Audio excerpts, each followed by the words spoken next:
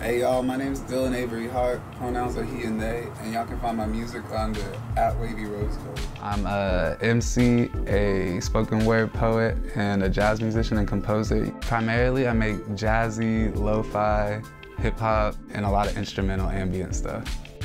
Empowering culture to me means just bringing uh, the history of my ancestors and the culture they fought and died to produce to the present time and informing the masses. Uh, three artists that I would consider influential, Sade, DJ Screw, and Miles Davis. Big ups to Adore. Appreciate y'all.